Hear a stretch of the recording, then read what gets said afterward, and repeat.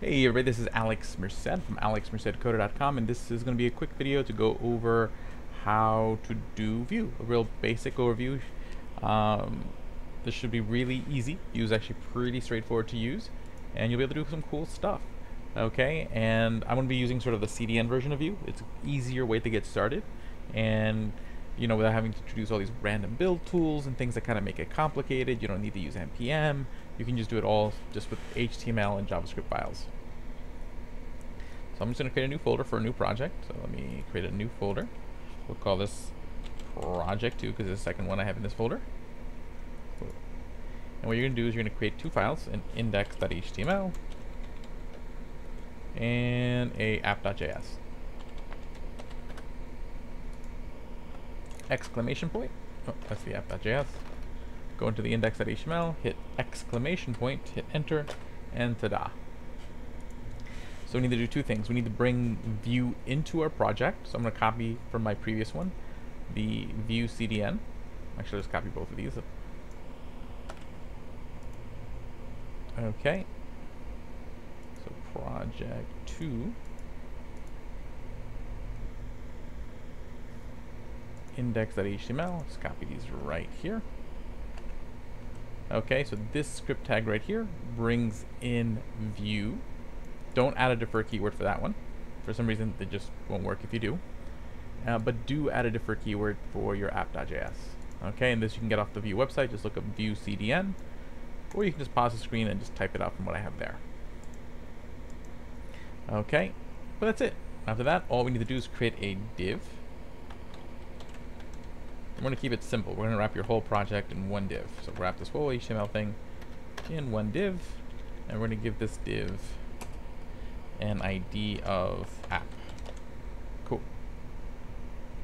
So, that's it. Okay, we've connected our HTML. Now we're going to go to our app.js, and we're going to say const um, app, so this is our, our application, equals a new Vue Oh, nope. New Vue. Uh, why does it do that? No new Vue. Escape. Then parentheses, pass in an object. And essentially everything you're going to be doing, so what, what is going to happen is we're going to type in a property called el. That means what's where does this instance of Vue target? So it's going to target this div here. Not this div. Let me close that one out. This div. So everything in this div is going to be targeted by this Vue instance. So we're going to type el, and we're going to type in an ID of app. So it's going to target the element with an ID of app. So that's the first piece. then we're going to have our data object. Here you can put any data that you need for working with. Okay, so literally every piece of data is going to go into this object. So we're just going to create a hello property and call it hello world. Okay, and just to test it out so you can see the first cool thing you can do with Vue, it creates what's called data binding. And it follows a pattern very similar to the older version of Angular, but a lot more lightweight. So it brings a lot of the good parts without a lot of the bulk of the older Angular, which is really nice. Uh, because you'll see some of this is pretty nice. So what I can do is I can, let's say, create an H1, and inside of it, I can interpolate things right into my HTML. So I want to interpolate that property called hello. So it's going to see here, see these two curly brackets, see hello, and then it's going to look at my data to see if there's a property called hello, which there is, and it's going to just pl pl plop the value there. So let's try that out. I'm going to right click here, open with live server, and see hello world.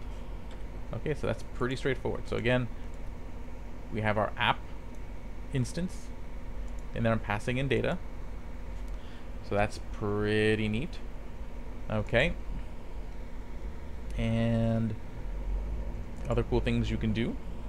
Let's create a variable called show. And again, you don't have to, you can call these variables whatever you want. We'll make it true. Okay. Oh, don't need to go there yet. Let's create an H2 that's called peekaboo. I wanted to make it hide and hide and show. So what I can do is I can do a v show, these are called directives, v show, and then you choose what variable it's linked to. So I'm going to choose the variable show. So it's going to look in my data, look for a property called show, and see if it's true. If it's true, it'll show. So again, I go back over here, I see peekaboo. But if I change it to false, it disappears. Okay? That's that's what's cool about vShow. Now I'd like to be able to change that variable, so maybe I want to create a button that changes that variable, that toggle, toggles that peekaboo. Okay, so let's go back to my HTML, let's create a button. We'll just say hide and seek. We'll see what's on the button. And we need to create a function for this button to click on. So we're going to go back to my Vue instance object, put a comma, and we'll create another property called methods. Okay, and then here is another object where we can declare all the functions we'd like to use in our Vue instance. So we're just going to call this one called uh, hide and seek. Okay, now when you define these, you do have to use this syntax, function. Okay, you have to define your function that way. The reason is you need to use this. This needs to work a particular way for this to work. So arrow functions, uh, not not your go-to here. Okay, so hide and seek. So basically, whenever you click, whenever this hide and seek function gets run, all I want to do is take this dot show. That's the instance. So this is the Vue instance. This dot show, and I want to make it equal not this dot show. So it'll make it equal the opposite of what it is currently. Okay, cool. So there's my function. Very simple one. That makes life a lot easier than writing out something really long in jQuery. And then I can just associate that button by doing v on colon, then the type of event, click equals hide and seek, because that's the name of the function. So whenever you click on this button, it's going to go look in my methods to see if there's a function called hide and seek, which there is. So now if I go back to here, and I click on hide and seek, peekaboo. Okay, so see that was pretty easy. Okay, that's the beauty of you. Just make some of these basic things really easy. Now let's say we create an array. Do, do, do,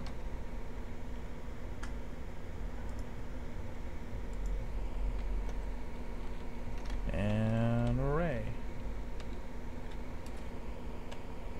One, two, three, four, five, six.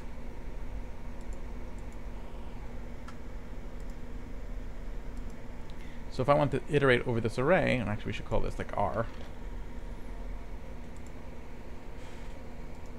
I can do something like this. I can say H1, or I'll say H3, v-for equals num of, oh, let me just confirm that. I always forget the conjunctive word, ah, in, okay, in. So it should be num in R, okay, because that's the array.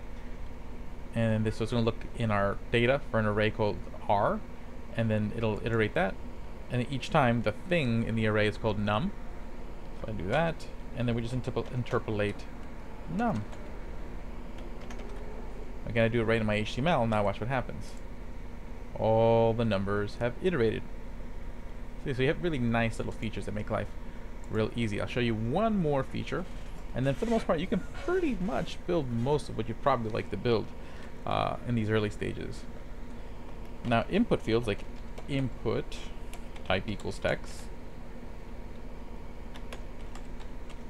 Okay, what we're going to do is we're going to use vModel, which binds it to a variable. Okay, we'll call it input. So let me go back to my data, create a field called input.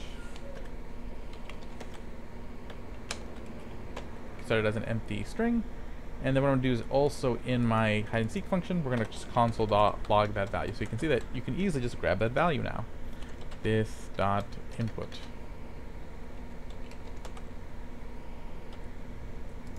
Okay, so if I start typing it, let me open up the console. If I just type in cheese, I do a hide and seek. See, it does a thing. Well, see, it also console log cheese. because that variable is bound to what I have in the console. Okay, so that is that. Um, yeah, that's the basics of Vue. So again, just to kind of recap, there's other things you can do. Um, so we talked about vShow, so if you conditionally show things, v-for, so you can loop over elements. Um, there's also vIf, where certain elements just won't show up, which is actually technically kind of the same thing as vShow. Um, again, you can put your data and you can interpolate it into the HTML. Uh, you can create functions that refer to those pieces of data pretty easily. All you have to do is, again, create this new Vue instance, wrap a div in this app ID. Again, you can create multiples of these Vue instances, but it's probably easier at first just to wrap one big div across your whole HTML, give it ID app, and just kind of practice this pattern first, get used to it.